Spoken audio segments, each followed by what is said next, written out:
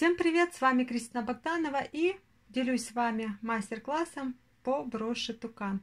Я взяла готовый шаблон, печать выполнена на корейском жестком фетре 1,2 мм. Взяла канитель жесткую, бирюзовую, слегка растянула и начинаю с клюва. Как пришить канитель, оставила ссылку в описании под видео. Также беру чешский бисер, вот таких красивых цветов, зеркальный, и в хаотичном порядке я начинаю пришивать.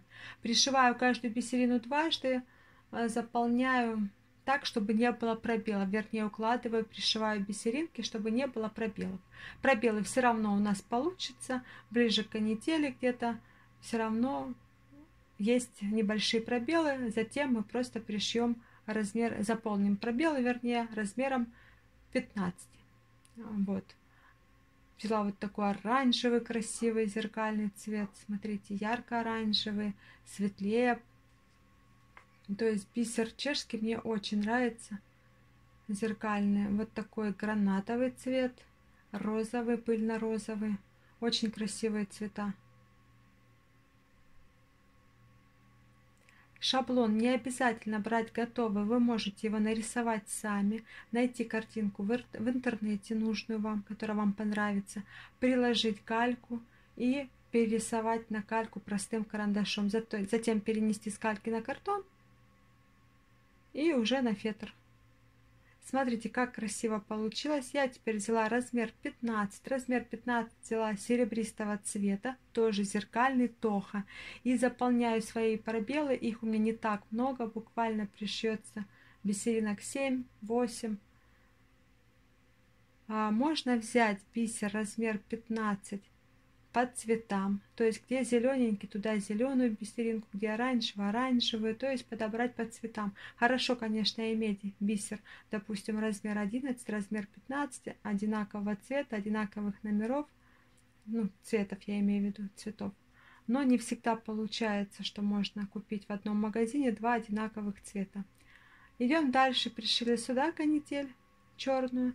Здесь черная канитель Здесь черная, свернули, вот так пришили и серебристая канитель.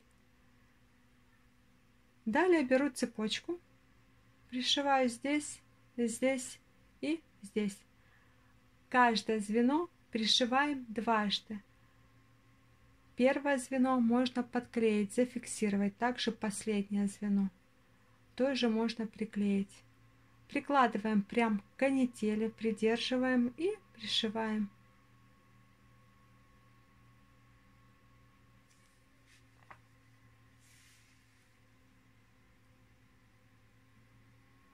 Срезаем. Можно подклеить, как я уже сказала. Здесь пришиваем.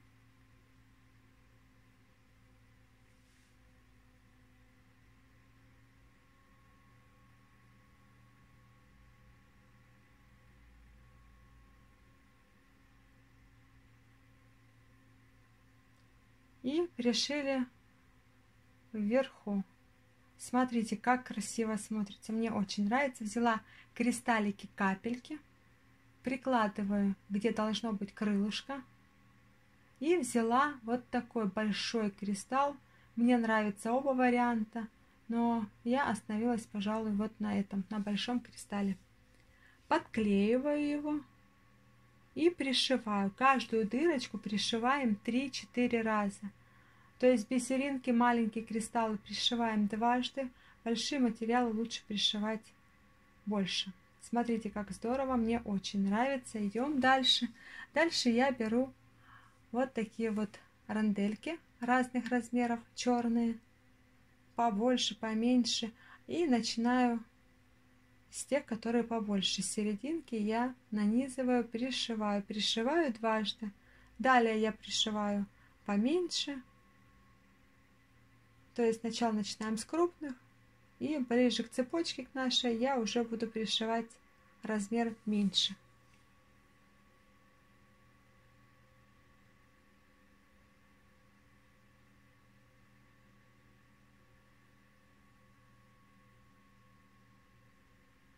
Взяла вот такой белый бисер. и буду пришивать его рядком. То есть я нанизываю бисерину, пришиваю, отступаю ее расстояние, нанизываю бисерину, возвращаюсь к предыдущей. Отступаю расстояние, нанизываю бисерину, возвращаюсь к предыдущей. Пришиваем, получается, мы по одному разу, так как далее у нас будет идти стяжка. Рядки я всегда пришиваю так. Взяла поменьше бисеринку, Здесь у меня меньше осталось места, я пришиваю поменьше бисеринку. Вывела иголочку и прохожу все наши бисерины. Три оборота, поднатянули три оборота и готово. Беру вот такой крупный бисер, прозрачный. Вот такой бисер прозрачный, вернее он чуть-чуть матовый, у меня какой-то прозрачно-матовый, скажем так. И заполняю им.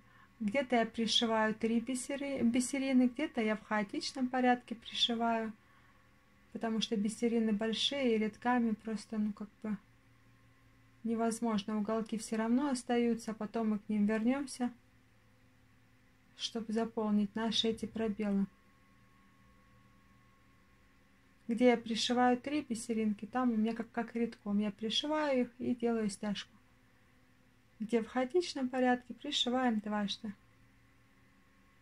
Грудка готова. Взяли желтый цвет, такой насыщенный тоха, размер 11. И желтое местечко расшиваем этим бисером в хаотичном порядке, пришивая каждую бисеринку дважды. Взяла вот такую бисеринку, это у меня будет глазик серебристый, размер 8. Взяла я ее из тоха микса, нанизала, взяла черный бисер – а, размер 15, также нанизала и возвращаюсь в серебряную бисеринку, выхожу из нее, то есть выхожу так же, как и пришла. Пришиваем дважды. Почему я здесь не пришила глазик закрытый? А, потому что я использовала размер 11, и моя канитель, которую я бы пришила бы, да, дугой, она бы немножко потерялась в этом бисере. А если бы пришить эту дугу, лучше использовать вот такой бисер размер 15. Тогда можно было глазик пришить канителью. А здесь у меня остался пробел, и вот этот размер 15 я использую в пробеле. Буквально тоже несколько бисеринок получится. Пришиваем также дважды. Если у вас остаются какие-то вопросы, пожалуйста, задавайте их в комментариях. Взяла вот такой размер 15, бисер белый, и возвращаюсь к нашей грудке, заполняю пробелы этим бисером. Тоже буквально несколько бисеринок получится. Также заполним черное, размер 10, размер 11, если 10 нет 11 и самый маленький пробел размером 15. Готово, смотрится очень красиво. Переходим к веточке. Я взяла бирюзовую канитель, которую использовала на клюве. И пришиваем. Пришиваем кончик 3-4 раза. То есть первый завиточек 2-3 раза и второй завиточек можно пришить 1-2 раза. Далее отступаем 3, где-то 3 миллиметрика. Я оставила ссылку в описании под видео, если кто-то не знает, как пришить канитель.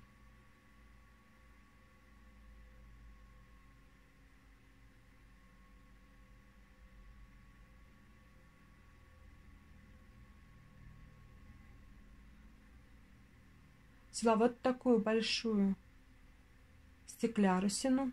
Вот такой стеклярус 2 сантиметра. Длиной взяла 3 миллиметра стеклярус и 6 миллиметров тоже. И пришиваю. Большую пришила дважды. Можно пришить ее трижды. 6 миллиметров и пришиваю вот тут в кончике. На кончике, вернее, 3 миллиметра прошла сразу две.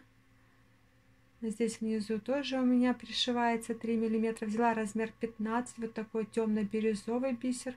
И пробелы заполняю им. Вот такая красивая веточка. Перешли к хвостику. Я взяла матовый бисер, вернее стеклярус, три штучки. Пришью вот сюда три штучки. Внизу пришью, где у меня осталось место. Размер 15, черный бисер. Далее я беру глянцевый, две стеклярусины взяла, пришила, и бусинки, вернее не бусинки, бисер крупный, вот он на размер 8, тоже пришила, смотрите, как красиво смотрится. Я все-таки решила снять этот кристалл, я его отпорола, отклеила, так как эта цепочка мне мешает. Мне кажется, я...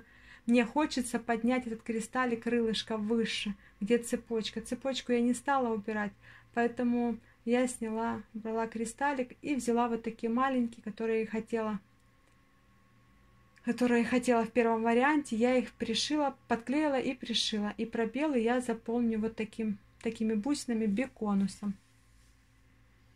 Э, беконусы большие, где пробелы поменьше, поменьше, где совсем маленькие пробелы, я заполню бисером размер 10 и размер 15, размер 11.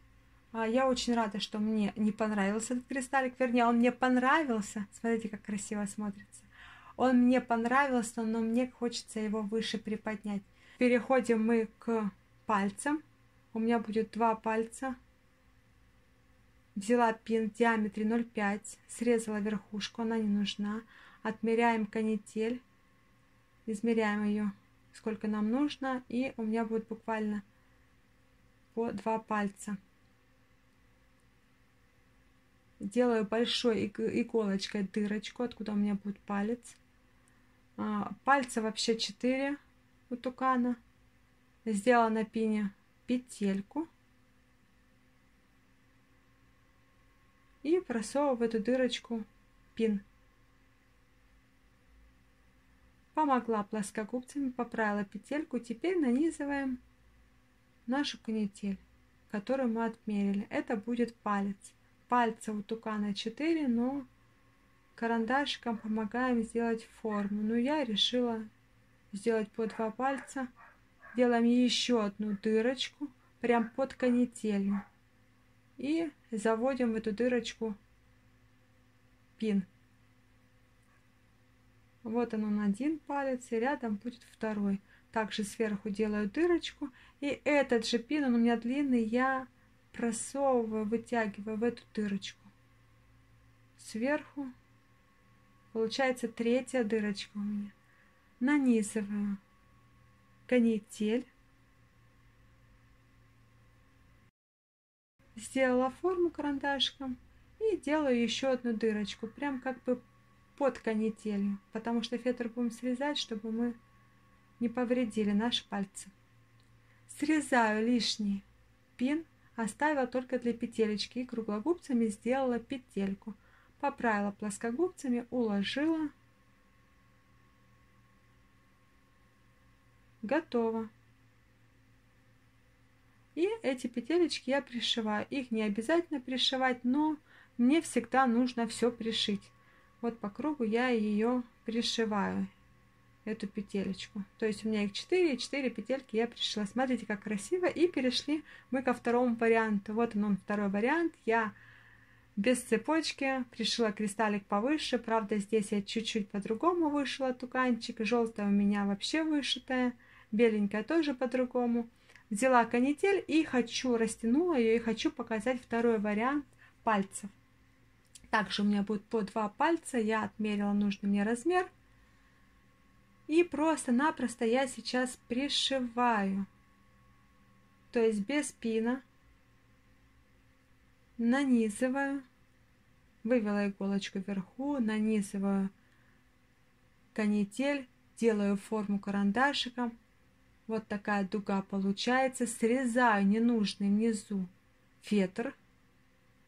Прям до канители. И иголочку продеваю тоже за канитель, ну как бы ее так в бок увожу, и она у меня выводится прям где-то посерединке веточки с изнаночной стороны.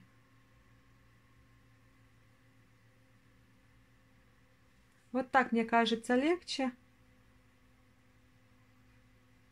Пином, конечно, прям понадежнее, но пришить тоже можно. Смотрите, лучше, конечно, пришить дважды. Я раз нанизала, второй раз нанизываю канитель. И только тогда я делаю карандашиком форму.